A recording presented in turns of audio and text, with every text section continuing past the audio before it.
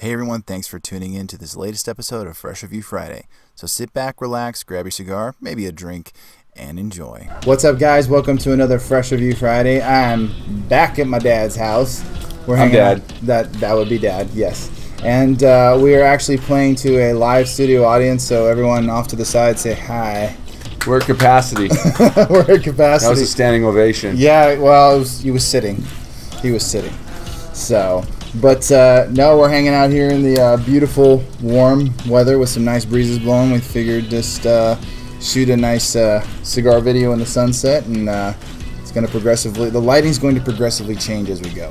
That's right. It's an experimentation with lighting, refractive lenses and whatnot. Yeah, it's science. It's science. Yes. We're playing with fire. You know what's also science? Cigars.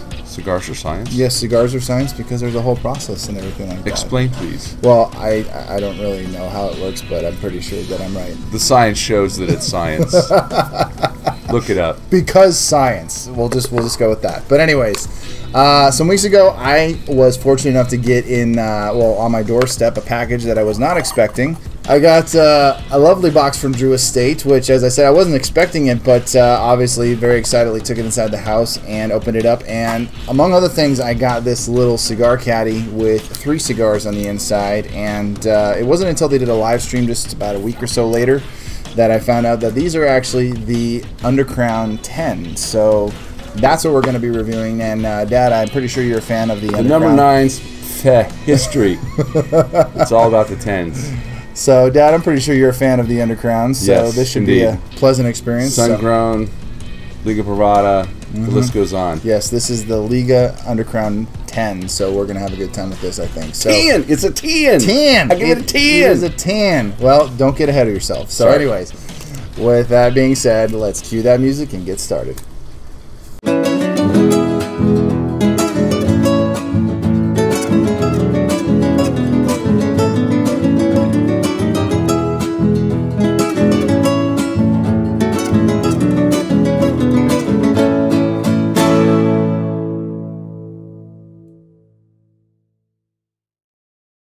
What's up, guys? You're watching Dad Smoking Cigars, sponsored by StogieLives.com and Casa Cuevas Cigars from our casa to yours. Thanks for joining us here today in my dad's backyard. So it's lovely out tonight, and uh, couldn't think of anything better than to just uh, chill out in your patio and smoke some cigars. As we do. As we do. There's a full refrigerator of beer right behind this camera. Yes, and we'll probably be partaking here and there during. So, uh, but uh, as I said before, we are going to be smoking the uh, Liga Undercrown 10, so which I got in a uh, promotional thing from Drew Estate not too long ago. I'm very fortunate and blessed enough to be on their mailing list. Every now and then I get something. That's Uh, pretty swell. it is pretty swell, and uh, I want to say thanks to my buddy Jack Hare over at uh, Drew Estate uh, for putting me on that list, and uh, yeah, pretty excited to uh, go ahead and get cracking on this one. Are You're as excited as the free cigars that come from Dad when you got these? No, no. Just ask. those are special. Those are special. So here you are, Pop. Thank you. So, um, so the maker of this cigar is a uh, Mexican San Andres wrapper with a uh, Connecticut broadleaf binder and all Nicaraguan filler. And I've said it many times before that uh, Nicaraguan is some of my favorite tobacco ever. I just have really great experiences with cigars that have, I mean, even just a little bit of Nicaraguan tobacco just adds a really nice flavor to the cigar. So, what are you getting off the cold draw, Pop?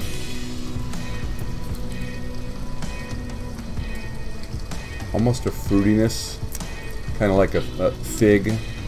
Yes, that actually. Uh, as soon as I took a puff, that's exactly Yeah. what I got. Maybe By the way, I found out this week that my my rap name is Figgy Smalls, so maybe it's appropriate. I'm gonna have to hear the story of that in between takes, because uh, yeah, well, I could tell it now, and you can cut it out later. go for it. Maybe they'll find it Let, interesting. let me tell it to you now, and Okay. you can edit it out later. yeah, exactly. So, so my good friend Rick and I were talking the other day, and I was able to translate some Spanish at, at a moment's notice, and, and so that's when Rick let me know all his friends call him a coconut because he's brown on the outside and white on the inside. So therefore, I must be a fig Newton, white on the outside, brown on the inside. And I said, wait a minute, my rap name it just came to me, Figgy Smalls. Oh, okay. So you dubbed yourself Figgy Smalls based off of that information. Correct. Yeah, well, this is also the same guy who was called an honorary Latino some years back because he was hanging out with some really cool Mexican friends and he happened to remember it was Cinco de Mayo. And his buddy Ben Romero told him, hey, you're an honorary Latino today. So there you go. And I've got that going for me, which is nice. years later, even. So, and in case you're wondering, uh, our friend Rick, who actually appear, appeared on a video sometime back when we record, recorded the uh, Casa Cuevas Maduro review, is actually part of our captive audience. Maybe right the now. highest viewed video ever on this show. Uh, no, actually. I Sorry, said, Rick. I said maybe. Uh, uh, that that would be the Brothers Bond bourbon review that we did. So Oh, that is yeah. still the highest. We crushed that. Oh, they yeah. still haven't sent us any free bourbon, by the way. they haven't invited us out to the distillery either. So We've been big league. all right, Snub. Let's toast it up, lest we uh, lose our uh, lose the attention of our internet audience. We, are, we already lost half of our live audience. Yes, one out of two. nice. Very nice. Got some kind of woody and nutty flavors right off the bat with a little bit of that uh, chocolatey kind of notes that you get from some of the cap Oh, unraveling just a little bit. However, the cap just came off, so that's. Uh, Yeah, gotta be careful there.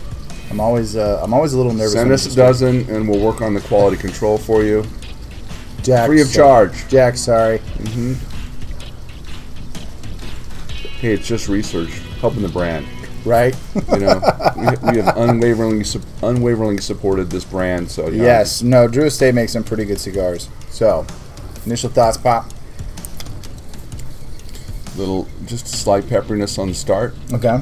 but not too much. Yeah, it's a little bit. I feel like I'm, it's almost like kind of a baking spice.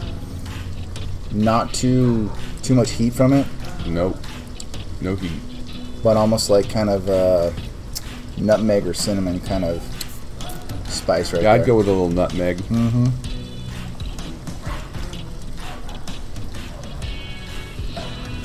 Ooh, Actually, the, the, smoke smells even better than the cigar taste, which which are both. The, the cigar tastes great, but as I'm The aroma's as I'm really nice. Mm-hmm. smelling your aroma uh, coming off of your cigar, it's uh, really pleasing. yeah. I I could have totally just had a moment where I was like trying to get the aroma of my own cigar and then just end up inhaling some some smoke. So I'm gonna Okay, and don't inhale, kids. refrain. Yes, do And not. by the way, while we're on the subject of not inhaling, you know, the, Congress is bringing a bill back to the floor for the third time oh boy. to, to help our lawmakers recognize the fact that cigarettes and cigars are not the same thing. I've discussed this right. in many a video prior. And, and here we are, you know, this is our fourth go around. Some say the third, but you know, it came out in uh, before 2010, and, and this will be the third time since 2010 Yeah. that premium cigars shouldn't be lumped in with cigarettes with those additional taxes because there are lots of manufacturers that can't afford the additional load with their mm-hmm. overhead to produce a great product like this. No. So, you know, the, the day of the $10 cigar and the $7 cigar, cigar are going to be gone Oh yeah. if we can't help our lawmakers realize that, hey, this was not meant for fine cigars, hand rolled cigars. no. They've given some of the machine rolled companies a break. but Yeah. That's not what this is about. It's it, it's about cigarettes and Yeah. sin tax. Cigarettes, and those cause vape. cancer and increase medical costs and all that good stuff. There's not been a proven study out there, according to my good friend Angela, who used to be a head surgical nurse at UCLA, that Mm-hmm. in her 16 years in the cancer ward, they never saw one case of throat cancer due to cigars. No. Cigarettes, yes. Chew, yes, but not cigars. And as I've stated many times before, and I'm pretty sure this information is still like accurate and still up to date, is that even if you smoked one cigar a day, uh, every day, you would still have a less than two percent chance of getting cancer. And you know, most of the cancer uh, cancer related cases in regards to smoking are one due to cigarettes and two due to the fact that cigarettes have a bunch of added crap in them that has been proven to cause cancer. Not merely the tobacco and anything like that. It is what has been put into them that keeps you smoking. So, anyways, It's all nice- natural, man. It is all natural. So, nice little tangent No went on. stems, no seeds, nothing you don't need. exactly. Nice little tangent we went on. We went on there, but at the same time, it's really. I borrowed that from Cheech and Chong. That was not my material. Yes, well, we will. Uh, I'll put that in the description to make sure everybody knows. Thanks, Cheech and Tommy. So, but that is uh, just as important as enjoying cigars is knowing what's going on in the cigar world and uh, what our government is doing to either screw the pooch or Or actually- not doing. exactly uh, to help us continue to enjoy this because most of these businesses are family businesses and uh, they are very uh, they've got a rich history behind them so you definitely don't want to screw with the livelihood of these people who work very very hard to bring these to us these wonderful little luxuries that we enjoy on a regular basis so, Hey, Joe Biden. yeah If you're in favor of the working man, help him out. You're, you're going to put people out of jobs that aren't even in America that you don't want here in the first place. Help them keep their jobs. Help them make a living. Quit overpricing cigars. Yeah, they're bought by rich white people. You, you could say that, but you know what? The ones making them are the ones that are getting hurt, not the ones buying them. Exactly. Other than that tangent, which is still very important, and it is very important to keep up to date in regards what's going on in regards to what's going on in the cigar world and uh, legislation concerning all of that. This cigar so far, off uh, just based off of the first puffs and everything, good flavor. Really good. Um, some nice chocolatiness with a little bit of spice and some uh, nice uh, smoky, uh, woody smokiness. So I'm enjoying it so far already. Definitely some woodiness. Mm-hmm. Maybe picking up just a little bit of licorice. I haven't gotten that yet. Back, I'm okay my, with that. back of my palate. I haven't gotten that yet, but I'm okay with that. So, anyways, guys, those are our first thoughts and other stuff on the first third uh, or the first puff so far off the uh, Liga Undercrown 10 from Drew Estate. So we're gonna smoke this down a bit, and we're probably gonna be smoking this down for a while because it's. Uh, I think this is uh, either Toro or Churchill. I can't tell. So And it's nice and slow burning. exactly, which is how I like it. So, anyways, guys, we'll be right back with you. So stick around, and who knows what else might come up in conversation. So, see you then. All right, we just smoked down the very long first third of. Uh, Or half, as the case may be. yeah, right. Because uh, this guy, I, I, as you know, I like to talk. And uh, while I'm jaw jacking, this guy was smoking, and he was uh, for a while. all, all was- business. it's a race. It's a race. So, but uh, Rat Race. It's a great movie. Watch it. But anyways, uh, yeah, that was a really good first third. Yep, Uh, excellent. Very tasty. Uh, we were kind of looking at some of the different uh, like notes other people got from the cigar itself because I usually try not to do that before I'm smoking because then I feel like it's like then I'm gonna taste what they're describing in the article or whatever it is that they're talking about, and then it's just like I want to kind of figure it out for myself while I'm smoking, and then afterwards I'll look at it.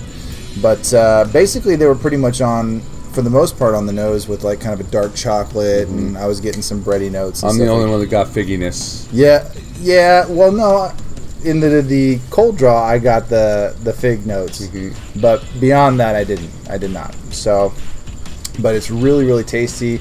I'm the only one who retrohales between the two of us, uh, mostly because he's tried and it just he can't figure it out. Don't dig it. Don't dig it. That's how you get cancer. After what we were just talking about, shit. That's what my wife says. Yeah, this, uh, anyway. So, but um, that opened it up quite a bit, and I got kind of like that little bit combined with like the dark chocolate and some bready notes. That's always really tasty. It's kind of like that uh, chocolate breakfast muffins, really tasty. Yeah, the back of the palate definitely has the dark chocolate.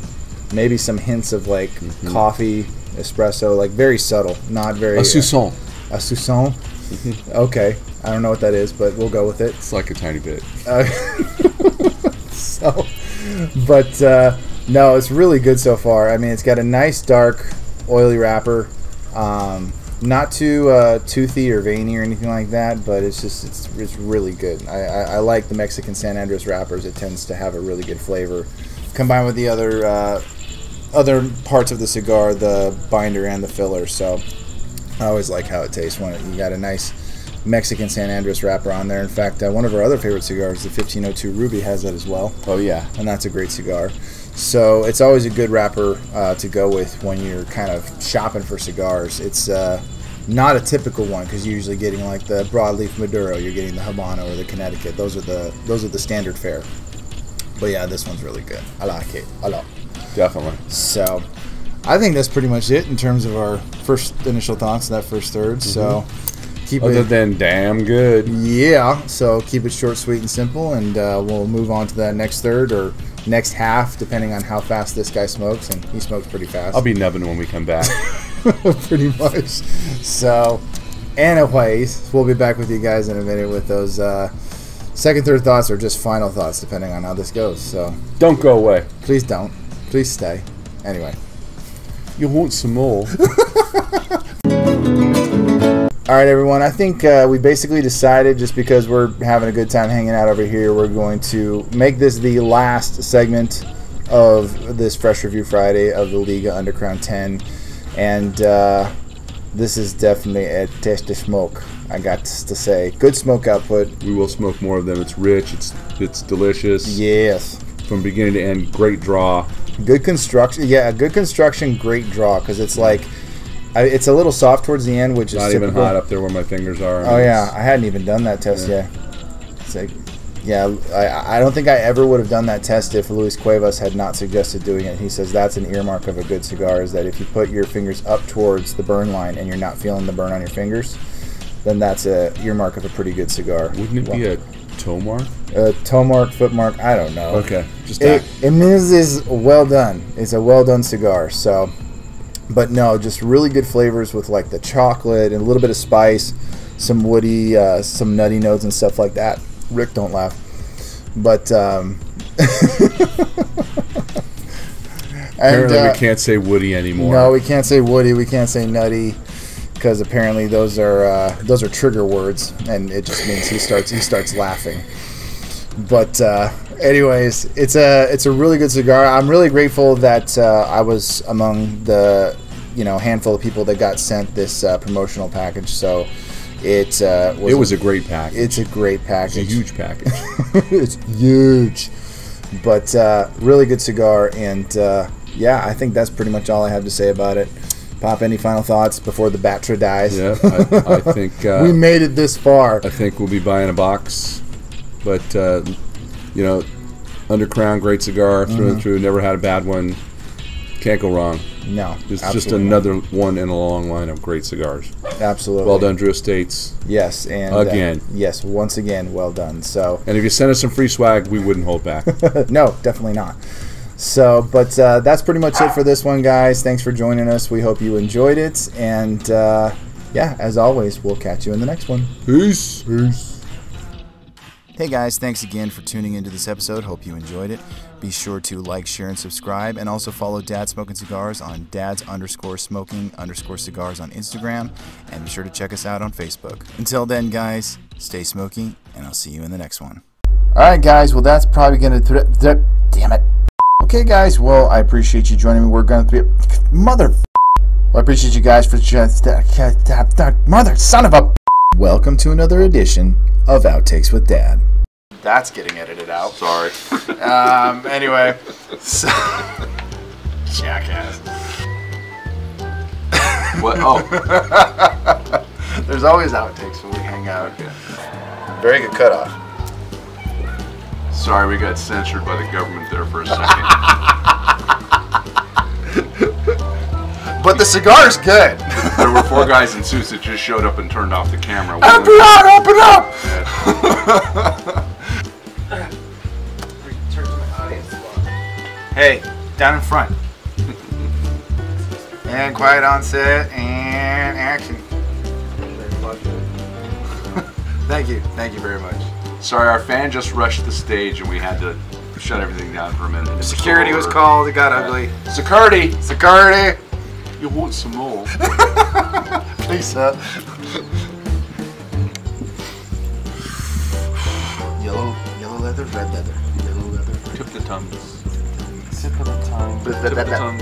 Lips and the teeth. Tip of the tongue. Lips of the teeth. Yo yo yo yo yo. Ma ma ma. Bah, bah. Me me mamo. Warming up. La la la la la la la la. Okay. Yeah, as always, we'll catch you in the next one. Peace. Peace.